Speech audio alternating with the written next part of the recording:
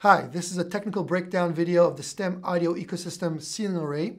The ceiling array is just that. It's an array designed to be either mounted or hung from the ceiling.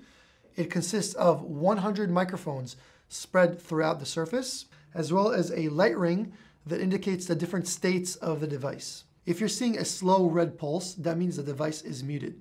If you're seeing a rapid red pulse, it means the device is being pinged. A solid red ring means you have a device error.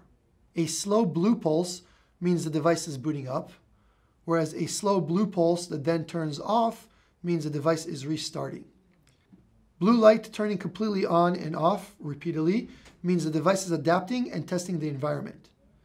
A dim solid blue light means the device is on. A rapid blue pulse means the device just finished booting up. On the flip side, we have our connector panel. Our connector panel consists of two connectors. One of them is our RJ45 Ethernet connector, which is both our data and power. And right next to it, our USB-B that's designed to plug in directly into a PC in case we use this as a standalone device. The ceiling array can actually cover in three different beams. The first beam is what we call wide, which is 60 degrees. And the use for this would be in a room where you have decent acoustics and you want to be able to use as few products as possible to cover the most amount of space. After that, we have medium.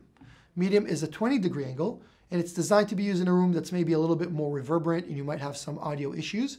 So you'll set more devices in that room and you'll set all of them to medium so that you cover less of that reverberance. Finally, we have narrow. The idea behind narrow is a little bit different. What we're doing here is we're literally covering only the person that's standing directly underneath the device. This is designed for situations like a podium speaker or any case where you want to make sure that you actually don't pick up anybody that's not directly underneath the device. In order to install the STEM ceiling device, just make sure it's secured to your ceiling, then plug it into your Ethernet jack. Make sure the Ethernet jack supports PoE Plus or provide it with a PoE Plus injector. Give it a couple of minutes to boot up, and then go ahead and move on to the platform to install the device in the room. We'll talk more about that in section two. That's it. Thank you for watching.